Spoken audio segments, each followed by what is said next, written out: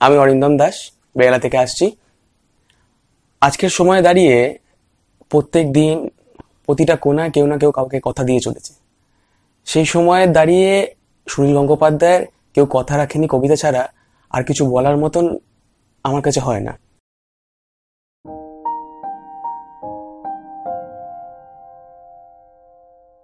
তাই কেউ কথা রাখেনি। তেত্রিশ বছর কাটল। কেউ কথা রাখেনি। ছেলেবেলায় এক বষ্টমী তার আগমনী গান হঠাৎ থামিয়ে বলেছিল, শুক্লা দ্বাদশীর দিন তার গানের অন্তরাটুকু শুনিয়ে যাবে। এরপর কত চন্দ্রভোগ অমাবস্যা কাটলো, কিন্তু সেই বষ্টমী আর এলো না। পঁচিশ বছর প্রতীক্ষায় আছে।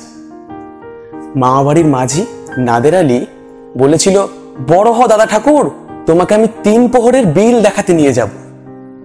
সেখানে পদ্মফুলের মাথায় সাপ আর ভোমর খেলা করে। নাদের আলী, আমি আর কত বড় হব? আমার মাথা এ ঘরের ছাদ ফুঁড়ে আকাশ স্পর্শ করলে তারপর বুঝি তুমি আমায় তিন প্রহরের বিল দেখাতে নিয়ে যাবে। একটাও রয়্যাল গুলি কিনতে পারিনি কখন। লাঠি লজেন্স দেখিয়ে দেখিয়ে চুষেছিল লস্কর বাড়ির ছেলেরা।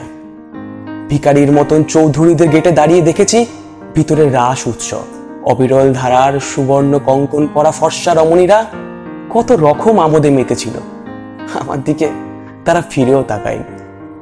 বাবা আমার কাঁধে হাত রেখে বলেছিল, দেখিস, একদিন আমরাও বাবা এখন অন্ধ।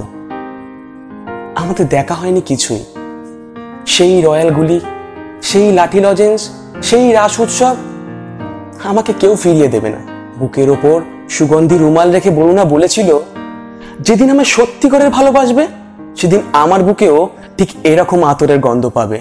ভালোবাসার জন্য আমি হাতের মুঠে প্রাণ নিয়েছি। দুরন্ত সারের চোখে বেঁধেছি লাল কাপড়। বিশ্ব সংসার তন্ন তন্ন করে খুঁজে এনেছি একশো আটটা নীলপদ্ম।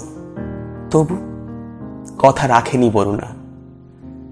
এখন তার বুকে শুধুই মাংসের গন্ধ। এখনও তো সে কোনো নারী কেউ কথা রাখেনি।